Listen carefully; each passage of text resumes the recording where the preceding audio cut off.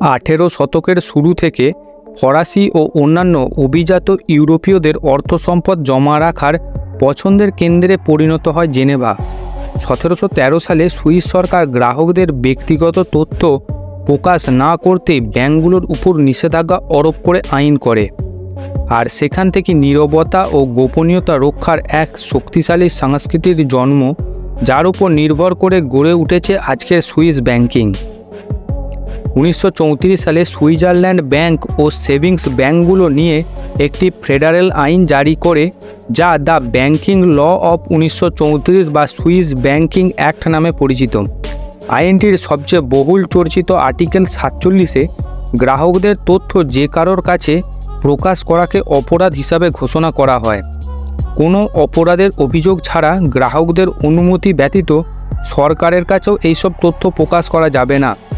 বিশ্বের সবচেয়ে কঠোর ব্যাংকিং গোপনীয়তা আইনগুলোর মধ্যে অন্যতম এই আর্টিকেল সাতচল্লিশ। আন্তর্জাতিক সীমারেখার বাইরে লেনদেন করা সহজ হয়ে উঠলে সুইস ব্যাংকগুলো বিশ্বের অতি ধনীদের কাছে নিরাপদে অর্থ রাখার আকর্ষণীয় ভোল্টে পরিণত হয়। এছাড়া সুইজারল্যান্ড অর্থনৈতিকভাবে স্থিতিশীল।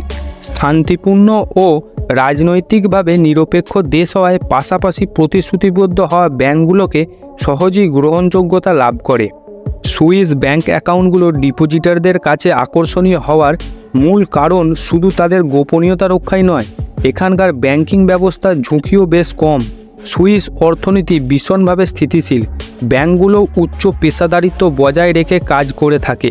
সুইস ব্যাংকে বিশ্বের যে কোনো প্রান্ত থেকে প্রাপ্তবয়স্ক ব্যাংক অ্যাকাউন্ট খুলতে পারে। অ্যাকাউন্ট খোলা কঠিন কোনো কাজ নয়। পাসপোর্টের মতো পরিচয় নির্ণয়কারী প্রমাণপত্রের সঙ্গে ব্যাংকের সাধারণ যাচাই বাছাইয়ের মাধ্যমেই অ্যাকাউন্ট খোলা যায়। একটি নির্দিষ্ট পরিমাণে অর্থ ব্যাংকে জমা রাখতে হয়। কী পরিমাণ অর্থ জমা রাখতে হবে তা বিভিন্ন ব্যাংকের নীতিমালা ও অ্যাকাউন্টের ধরনের উপর নির্ভর করে। আন্তর্জাতিক গ্রাহকদের পৃষ্ঠপোষকতা করা সুইস ব্যাংক ও সুইস অর্থনীতির জন্য সামগ্রিকভাবে বেশ গুরুত্বপূর্ণ। সুইজারল্যান্ডের ব্যবস্থাপনায় থাকা seven point nine trillion Swiss ফ্র্যাঙ্কের প্রায় অর্ধেকই বিদেশি গ্রাহকদের। সুইজারল্যান্ডের জিডিপির দশমাংশই আসে ব্যাংকিং শিল্প থেকে। দেশটির চাকরির বাজারেও ব্যাংকিং বেশ বড় জায়গা দখল করে রেখেছে। দেশটিতে মোট দুশো চল্লিশটির বেশি ব্যাংক রয়েছে, তবে মোট ব্যাংকিং সম্পদের প্রায় পঞ্চাশ শতাংশই ক্রেডিট সুইট ও ইউএসবি নিয়ন্ত্রণ করে।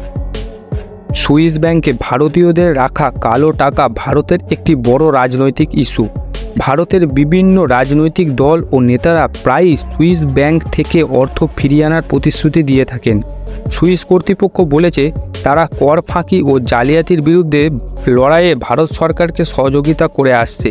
দু হাজার আঠারো সাল থেকে দুই দেশের মধ্যে কর সংক্রান্ত বিভিন্ন তথ্য আদান প্রদানের স্বয়ংক্রিয় ব্যবস্থা চালু হয়, যার অধীনে সুইস আর্থিক প্রতিষ্ঠানগুলোতে থাকা সমস্ত ভারতীয়দের তথ্য দু হাজার উনিশ সালের সেপ্টেম্বরে প্রথমবারের মতো ভারতীয় কর্তৃপক্ষের হাতে তুলে দেওয়া হয়। বন্ধুরা, ভিডিওটা কেমন লাগল? ভিডিওটা যদি ভালো লাগে, তাহলে চ্যানেলটিকে সাবস্ক্রাইব করবেন এবং লাইক, কমেন্ট, শেয়ার করতে ভুলবেন না। ধন্যবাদ।